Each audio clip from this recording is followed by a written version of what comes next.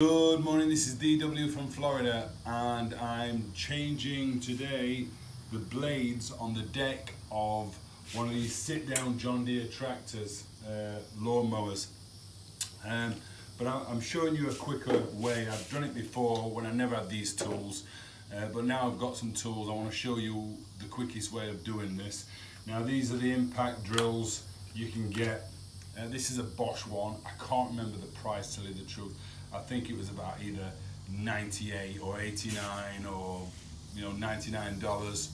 Uh, but it's uh, it comes with three batteries, the charger, the three batteries, and they've all got the lights on, so you can see if it's a full battery. I've used this one already, so this is a smaller version. This has only got two charge, two chargers left. Uh, I'll probably swap that out just so you can see if you can get it on. Oh, it's also got lights on there so you can work with a light. So that's quite uh, impressive if it's getting dark. Um, press that down, pull off. You've got different sizes, so this is a heavier battery, heavier duty. So, and I also bought these uh, impact socket sets the rest of those pieces are in here. Uh, great little tool bag to take if you're going on a trip journey with your truck, your car. I've used them for my trailer, tyre, my F-150 and my F-350. I've also stopped and helped people on the side of the road who uh, were struggling to do tyres. Uh, so this little thing is brilliant, especially when you've got the three battery packs with it. So I'll, I'll putting that on charge. So what I'm going to do is to change out these blades, you need uh, the 15, 15, 16, 15, one, uh, forward slash 16. I don't know how the Americans say it, 15, 15, 16. Place it on. That's that. So I'm going to pause it. I'm going to get showing you what I'm going to do and then move forward from there. And we're going to start by just pulling off the pins. So just take the pin off and the washer and keep those on the side. Move along. There is another one just there. Pull that off. Take the and bearing in mind that some of these washers are slightly bigger than the others, but just remember which one goes where.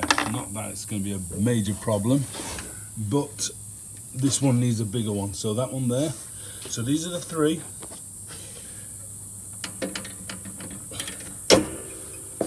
You may need pliers to pull them off if they've not been taken off before. Right, so that's that. That's that side. Now, Go to the side. Taking all the front of this one off actually. Again, pull that one off. I started to take that one off. Can you see that one? Yep. So these, there's just six.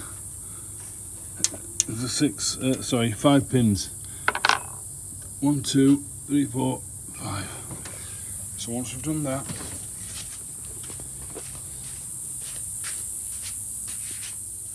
Right, we're going to go down to there and just see that wheel. Let me zoom in on that wheel. Just get it so you can see it. Okay, what I normally do is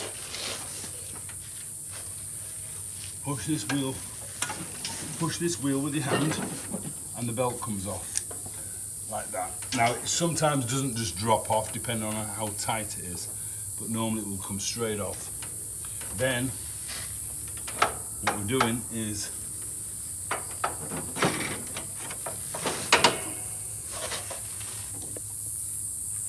we'll lower that all the way down to the ground.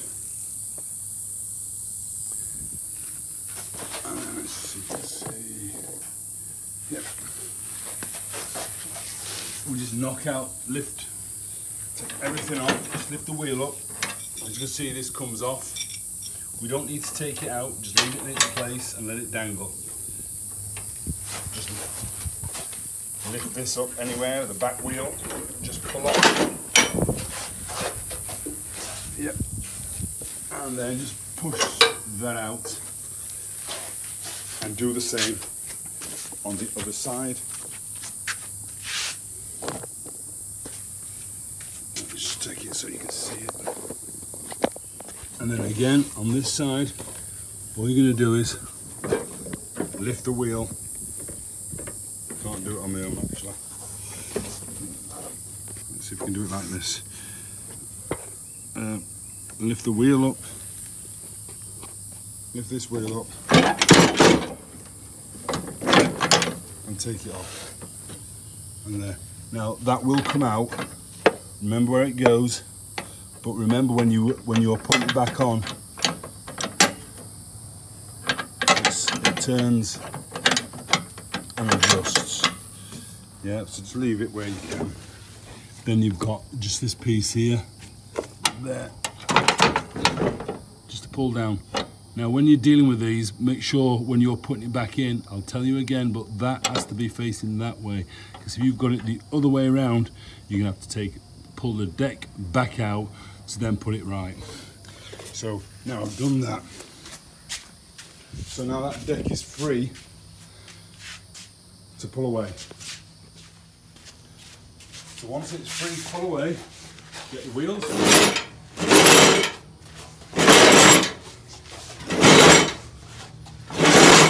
And drag it. Yep. Then I'm going to lift it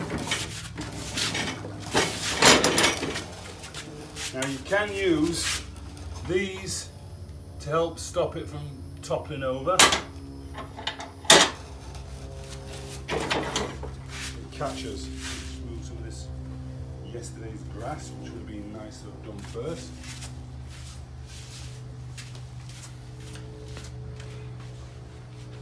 Now as you can see, this is the easier bit now. I've done a video before, like I said, where people haven't got the right tools and I just try show the basic way of doing it.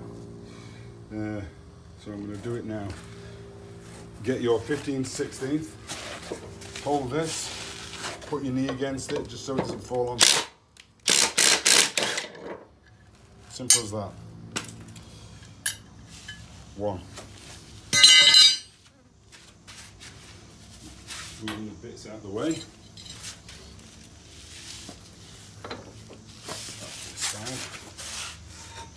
Just hold it gently, hold the wheel.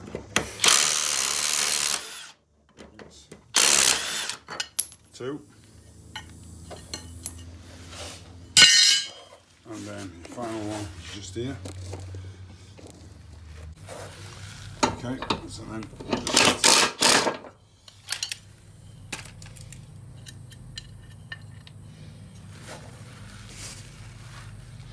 Okay.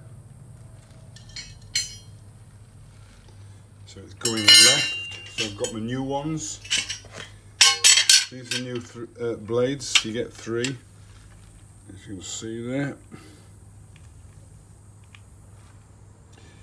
Um, you go with the blade facing uh, the left side. So there is a, a difference. One's like, this section's raised, that section sinks in. It's a sink, sinked in area that goes, is visible. That goes on there.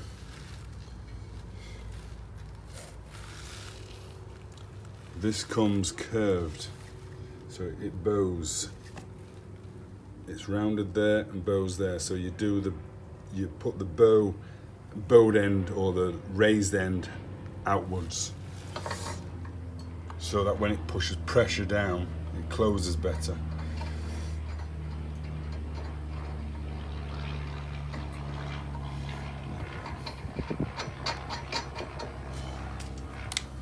Now we're taking that going right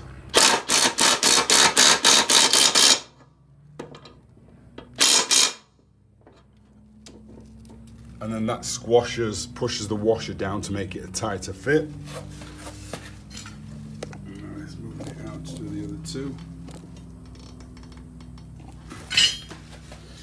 Now this should take you at least 10 minutes really, 10, 15 minutes at the most, if you're not chatting.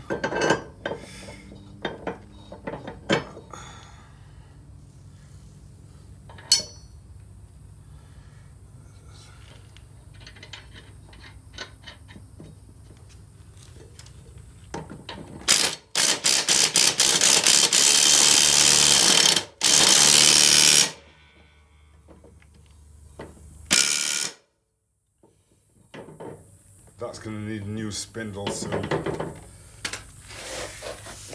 And then this final one at the bottom.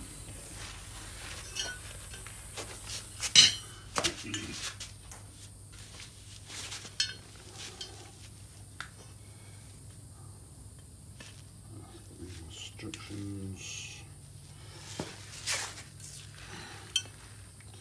Actually, I wonder what it says inside. I've never read it inside.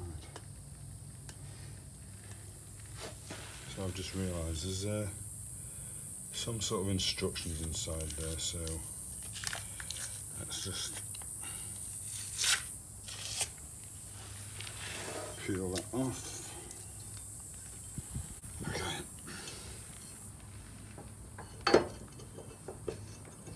They can only go on one way. They sit into like a little cog. Goes on.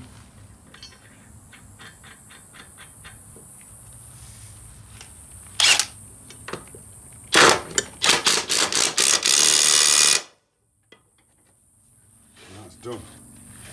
So, just going to pause it there for a second. It's funny, I've just actually read the instructions here for the first time ever. And uh, the video I did where you actually put a block of wood to stop that moving and then you take this bolt off was the correct way of doing it. But um, obviously I've just shown you a quicker and easier way using the uh, impact drill just to open and close it but but you just hold that. That's not spinning anywhere because it will only spin if you let it go on its own. So like that. So as long as you're holding it that's not got no force to force it around and hurt or injure your hand. If you want to put gloves on put gloves on. But as you can see I never found any uh, pressure or tension when I was just undoing that. All I did is stabilize this took the bolt off place the bolt back on. Simple as that. Um, so that's it. And as you can see, nice new blades put on and we're putting it back together now. Again, 10 minutes, 15 minutes. Use your wheels, push it into place. And do you remember what I said about these units here make sure these are facing inwards. Because once you get that in you can't raise it up because it won't go past the deck. So bring that in. These are okay because you can take these off. And, and then you can put them back on how you want them. So they'll be they'll end up like that. But you can leave those hanging down both sides. Pushing it in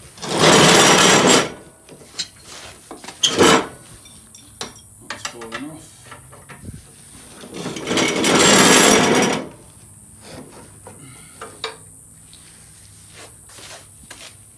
Right, and remember it's down, sorry, remember it's still down on the floor at the moment, so that's okay. Uh, and the reason why that's got to be down is just underneath, oops, I'm gonna move this, uh, just underneath this unit, let me press it. Can you see? Yeah. That bar needs to be low. If you, if that, if this is up here, then that, you've got to lift this to fit on there. You've got to lift this. Um, so you've got to lift this, the whole deck, to try and get that onto that piece there. Let me show you. If I raise it up now, right, that's all the way up. And look where that is now. and you're never going to lift this deck to fit there. You've got four inches of clearance to get to that or more. So just make sure push that down all the way. That then brings that in line, sorry, in line for these to go on. So I'm going to just show you that now if I can.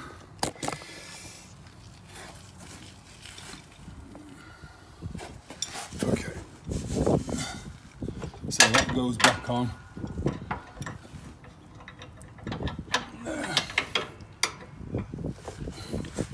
What you do is you lift the back wheel and the deck and it sits straight on, takes the weight. We've got the metal bar. Again just lift one of the wheels. Don't put your fingers under the deck that might hurt. It just sits straight on. I'm going to take this off in a second so you can see. So again lifted it up sit straight on. Then you put your washer back on. And it's the big washer that goes on with that one. And then your pin goes down like so. All the way through. If you want to tap it down you can tap it down but it's manhandle it it's easier easier done. And then there's the other bar that I've just put on. Again. I'm just going to put this washer on. And the pin goes straight across like so in. And then we just put this back. Like so. Just zoom in all we need to do is this and this pin that's that done and then one more on the other side.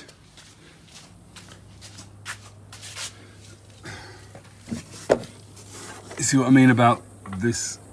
Uh, let me just make sure you can see that. That bar there, if that bar was on the other side, you wouldn't get it back, it wouldn't go all the way around. So that bar's now going to go there. Oops, needs to put it to say. There we go. Sorry about the positioning. That's on. Washer, pin, all the way through. And then we've got this one here.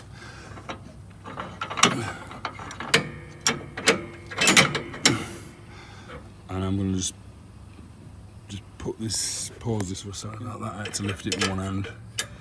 There, pin goes at an angle all the way through. Now the final part is the belt. So this tripod. And then, do you remember what I did last time?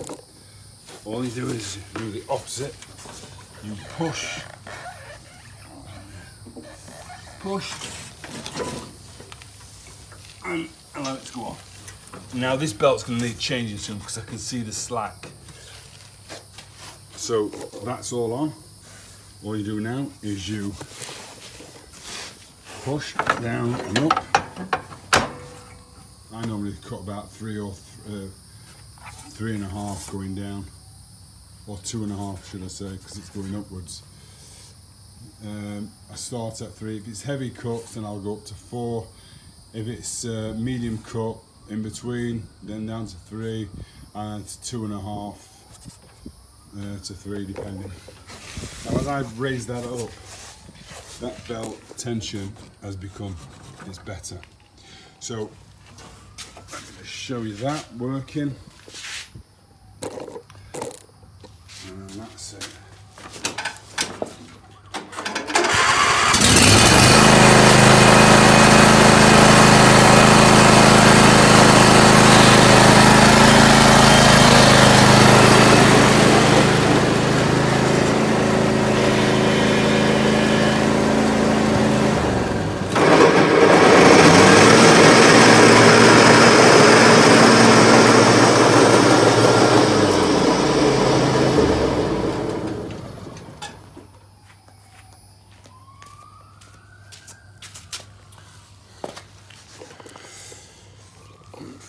Hi guys, right, so that's DW signing out, but please subscribe, uh, thumbs up, thumbs down, whichever. I do answer questions, I will assist where I can.